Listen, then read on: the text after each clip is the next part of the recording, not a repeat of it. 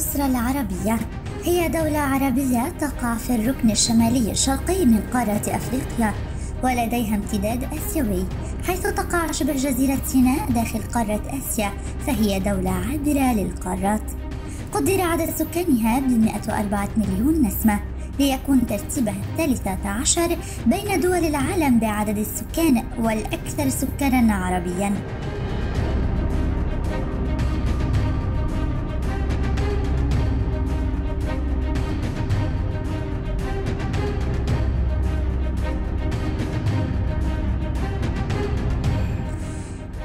لجمهورية مصر العربية سواحل طويلة على البحرين الأبيض والأحمر وتشترك بحدود مع سبعة دول وكيانات فيحدها في الشمال الشرقي فلسطين المحتلة ويحدها من الغرب ليبيا. كما تشترك مع السودان بأطول حدود برية لها بطول 1280 كيلومتر. بالإضافة إلى حدودها البحرية مع السعودية شرقا وقبرص واليونان شمالا.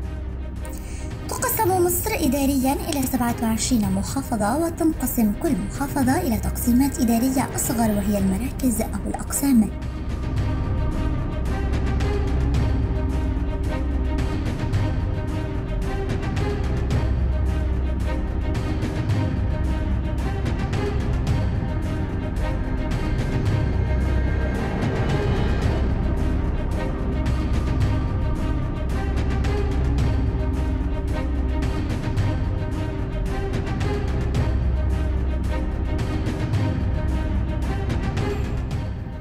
بلد هناك عادات وتقاليد لشعبها تميزها عن غيرها من البلاد.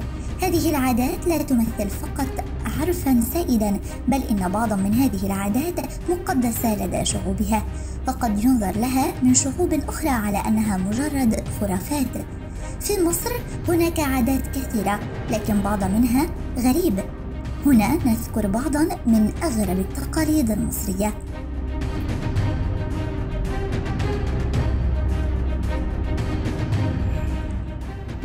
العرسة عند افتتاح محل أو مطعم جديد يطلب منك العرف أن تدفن عرسة على عتبة المحل على اعتقاد أن ذلك سيجلب الرزق الرغيد والواسع لصاحب المحل. فيأتي صاحب المحل بعرسة ويقوم بدفنها على أعتاب المحل بين فرحة عارمة وزغاريد المدعوين للاحتفال.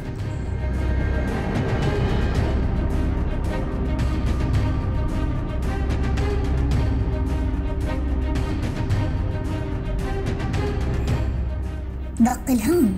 يستخدم المصريين الهون المستخدم لطحن الثوم في الاحتفال بالمولود الجديد في السبوع أي بعد موعد ولادة الطفل بأسبوع واحد. يمثل الهون إحدى طقوس الاحتفال الرسمي في السبوع ليردد مع دق الهون عبارات أساسية منها اسمع كلام أبوك اسمع كلام أمك ما تسمعش كلام جدتك أم أبوك. وهكذا.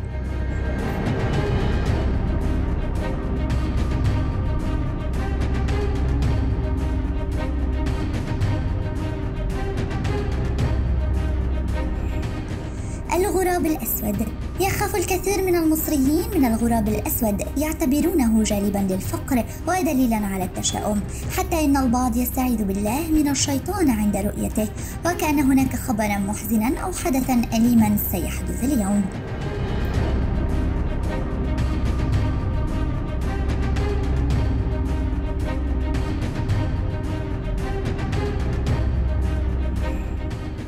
رابط عدم الانتهاء من كوب العصير بعدم زواج الفتيات.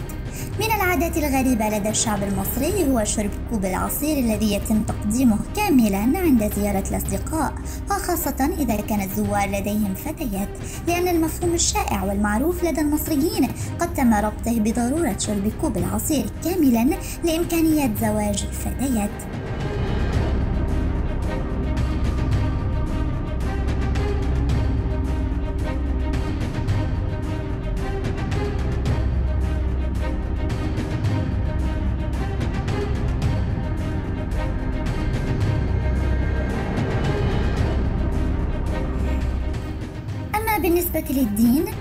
نسبة المسلمين تقدر بمتوسط 94% ونسبة المسيحيين في مصر بمتوسط 6%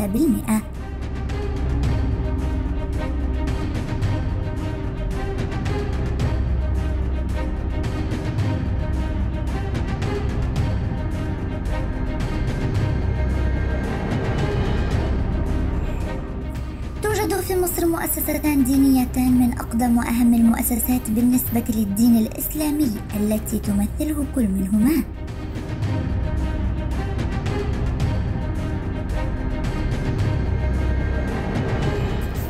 الأزهر الذي بناه الفاطميون لنشر المذهب الإسماعيلي في شمال أفريقيا قبل أن يحوله صلاح الدين الأيوبي إلى جامعة سنية ليصير أحد أهم أعمدة الإسلام السني في العالم.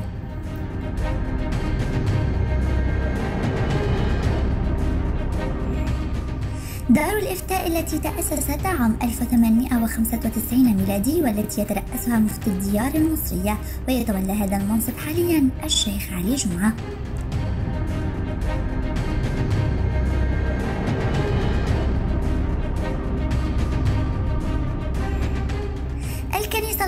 الأرثوذكسية وهي إحدى أقدم الكنائس المسيحية في العالم وواحدة من الكنائس الخمس الأولى. وكنيسة الإسكندرية هي مقر الجالس على كرسي مع المرقس وهو بابا الإسكندرية وبطريرك الكرازة المرقسية والبابا الحالي هو البابا توادروس الثاني.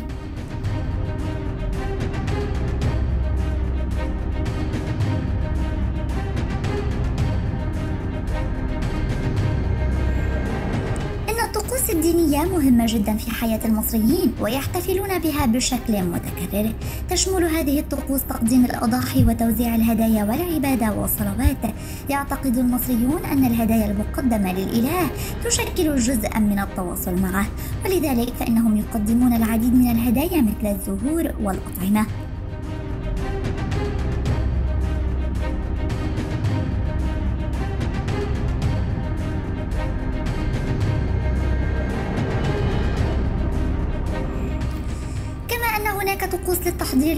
للمواسم والأحداث الهامة مثل طقوس الزراعة والحصاد والإنجاب.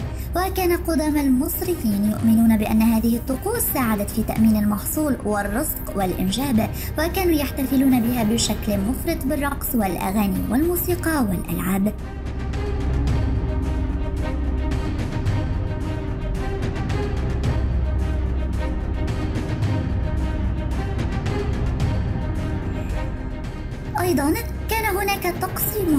يسمى بطقس الفراعنة. وكان هذا الطقس يعقد لتكريم الفراعنة الذين رحلوا. وكان يتم خلال هذا الطقس توجيه الصلوات لآلهة الموت والحياة كما كان يتم الاحتفال بذكر الموتى من خلال العزاء والصدقات والتبرعات للفقراء والمحتاجين.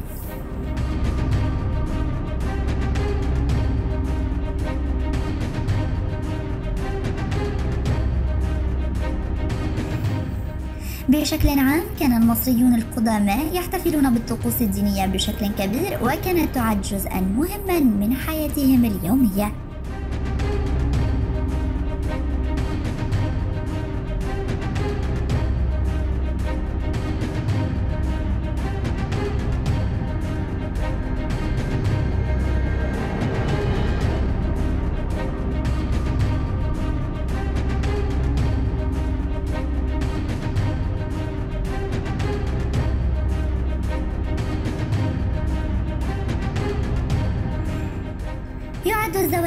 الإطار الأساسي الذي تتشكل الأسرة داخله وتحكمه في مصر عدد من القيم والعادات والتقاليد. بعضها إيجابية تحافظ على روابط الأسرة وبعضها سلبية تؤدي إلى انتشار العديد من الظواهر السلبية كالزواج المبكر.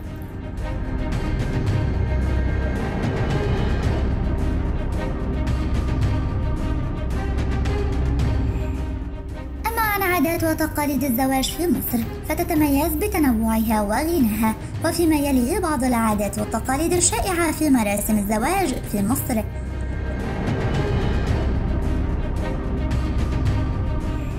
خطبة العروس. تبدأ مراسم الزواج عادة بخطبة العروس حيث يقوم وفد من عائلة العريس بزيارة عائلة العروس لطلب يدها في الزواج ويتم مناقشة شروط الزواج والتوافق بين العائلتين.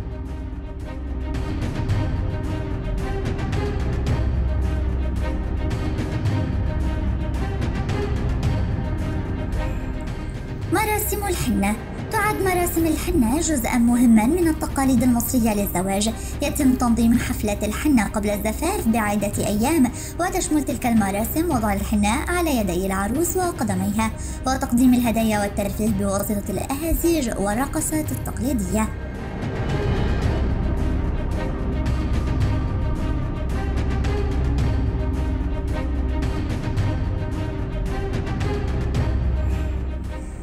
حفلة الزفاف. يعتبر حفل الزفاف هو الحدث الرئيسي لمراسم الزواج في مصر. يتم تزيين قاعة الاحتفال بشكل فاخر وتجهيزها لاستقبال الضيوف. يدخل العريس والعروس بموكب مهيب ويتم تبادل عقود الزواج والخواتم. تتم مشاركة الضيوف في وجبة طعام فاخرة ويتم تنظيم الرقص والموسيقى لإطفاء الأجواء المرحة.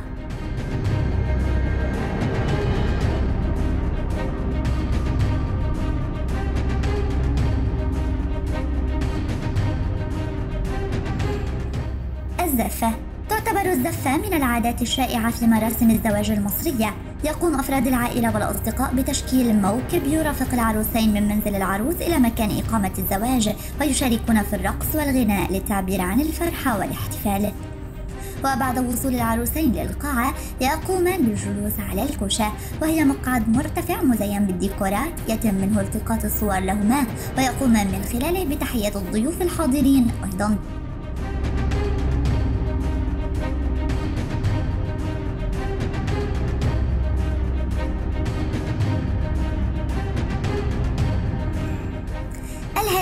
والتهاني يتم تبادل الهدايا بين العائلتين والأصدقاء والضيوف للتعبير عن التهاني والتبريكات بمناسبة الزواج. وقد تشمل الهدايا المالية والهدايا العينية والمجوهرات والملابس وتسمى الهدايا المالية بالنقود.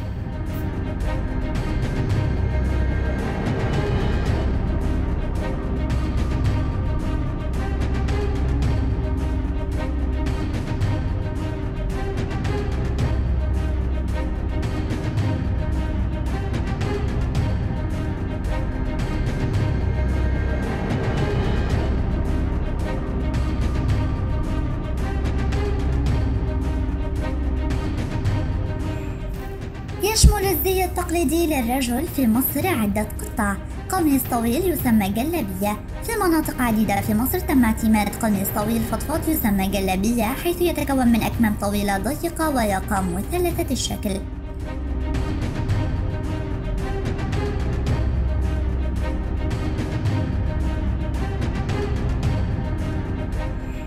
سراويل اختيارية تم تسمية البنطال المصري التقليدي بالسروال وتعد هذه القطعة اختيارية في اللباس.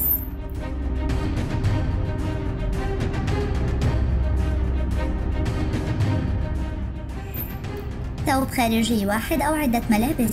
وهي القطعة التي يتم ارتداؤها فوق الجلابية والتي تم تسميتها بالقفطان.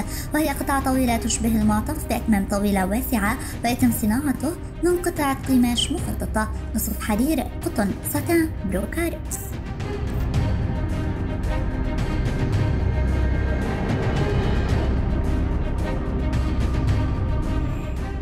غطاء للرأس.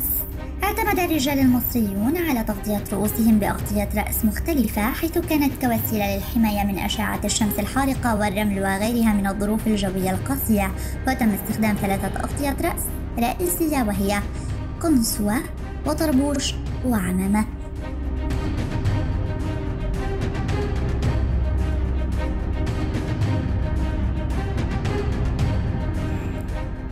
يشتمل الزي التقليدي المصري للنساء في مصر على عدة قطع. رداء طويل يسمى جلابية وهو رداء يصل إلى الكاحل بأكمام طويلة وتم استخدام هذه القطعة في المناطق الريفية باعتبارها ثوبا رئيسيا.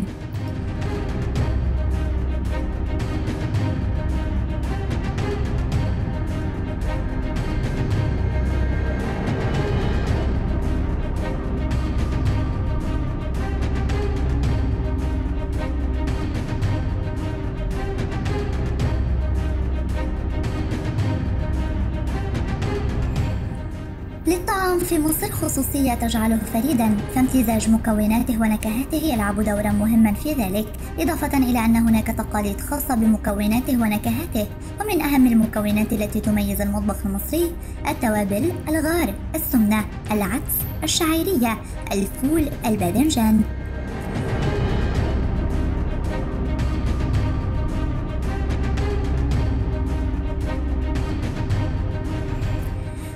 أما أبرز العادات والتقاليد المصرية في الطعام. أن تذكر البسملة. بسم الله قبل البدء بالطعام. يجب غسل اليدين قبل بدء الطعام. تستخدم اليد اليمنى في تناول الطعام في مصر ولا تستخدم اليد اليسرى كما يجب مسك الأطباق باليد اليمنى أيضا.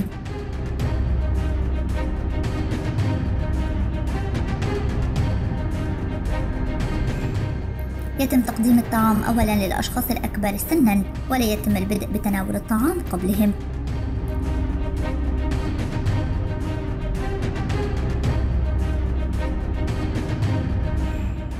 يعتبر أمر محبب في الثقافة المصرية إعادة ملء الطبق بعد انتهائه ففيه نوع من المجاملة لمن قام بتحضير الطعام.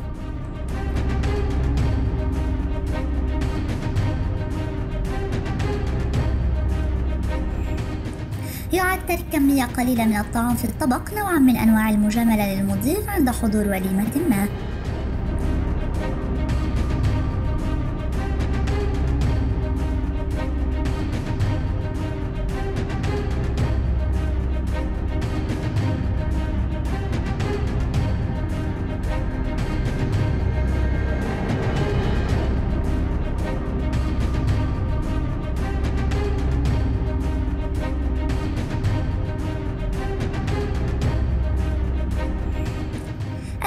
قضية الدفن في مصر عبر عقود مضت حتى الآن جدل حولها حيث اختلفت فيها الأقاويل فبعض الآراء ترى أن الدفن في مصر لم يتم على الطريقة الشرعية ويرى آخرون أنه جائز بشتى صوره من حيث مبدأ الضرورات تبيح المحظورات.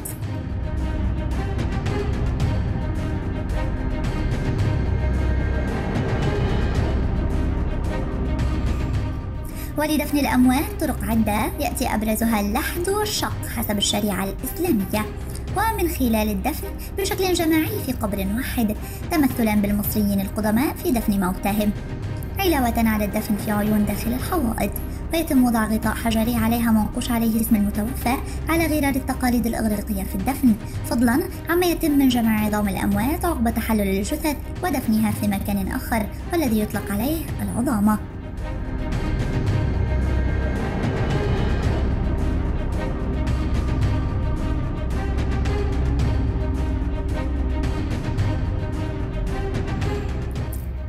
في الأمر هو إتمام الدفن في حفرة تحت الأرض ساترة للميت وعازلة للروائح. ومانعة وحامية من نبش القبور وأمانا لأجساد الموتى أو ما تبقى منها. ويجوز في حالة الضرورة أن يكون الدفن في مبنى فوق الأرض ولا مانع إن تعددت أدواره بحسب الحاجة بشرط التعامل باحترام مع أجساد الموتى حسب ما أوضح المفتي.